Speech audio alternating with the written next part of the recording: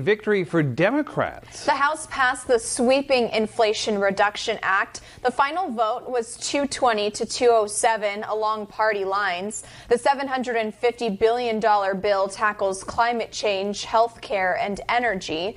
It gives Medicare the power to lower prices for some prescription drugs. It also provides tax credits for solar panels, electric vehicles, and electric HVAC systems. The legislation imposes a 15% tax on large corporations. Democrats say that will raise $700 billion in government revenue over the 10 years. Congressman Raul Ruiz says that he serves parts of Imperial County and he emphasizes the importance of this bill for the Salton Sea.